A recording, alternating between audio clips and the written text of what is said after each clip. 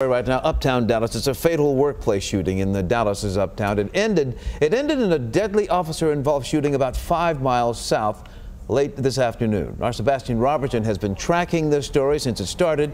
He's now live on the scene with much more for us. Sebastian. Hi, hi, John. A lot of new information. This is um, where that manhunt ended. This is where police opened fire, and we now know that they hit and killed 29-year-old Marlon Smith. They say he was armed, and they believe he's the man that walked into a leasing office in downtown Dallas, his former employer, shooting and killing the woman who used to be his manager. This was the scene shortly after this encounter late this afternoon. You can see uh, this woman uh, just off Bonnie View Road. She's so upset by what happened. You can see two Dallas officers are helping her walk.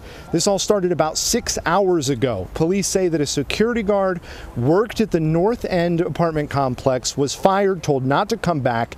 But at 10:15 this morning, he came back killed his former manager. And just moments ago, we heard an update from Dallas Police Chief Renee Hall. She gives us a little more insight into the moments that led up to the shooting. When they encountered the individual, he exited the vehicle, produced a handgun. Uh, there was an exchange of gunfire. One of the officers' vehicles was struck.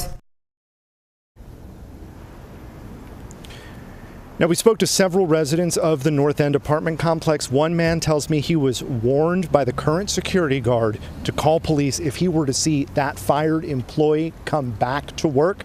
And unfortunately, that is uh, what happened this morning. That disgruntled employee came back to his workplace and ended up killing his manager. We know that the manager is a woman in her 50s, and by all accounts, she was very well liked by the residents that we spoke to in southern Dallas. Sebastian Robertson, Channel 8 News.